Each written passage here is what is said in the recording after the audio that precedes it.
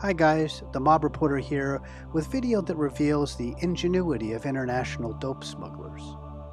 This is a load of fresh pineapples from Costa Rica that was shipped to a port in Portugal and then driven by truck to Europe's largest food market in Spain's capital of Madrid. Well, most of them are pineapples, but hidden among the fruit are hollowed out pineapple husks filled with cylinders of compressed cocaine that have been surrounded in yellow wax. The wax not only mimicked the look of the pineapple's flesh, but also masked the odor of the dope from sniffer dogs to help avoid detection.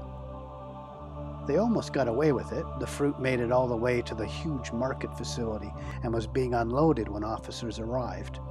Police had tracked corporate transactions of import export companies that were under suspicion.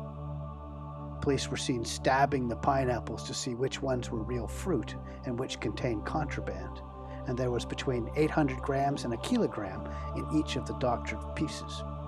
In total, the officers with Spain's national police found 67 kilos of cocaine in this load, and seven people were arrested three of them in Madrid and four of them in Barcelona.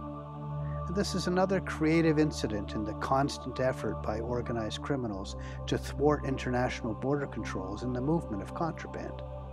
And, of course, the response by police to try and stop it. Listen, as always, thanks for watching. Please subscribe, share the video, give it a, give it a like, and give us your thoughts on the war on drugs down below.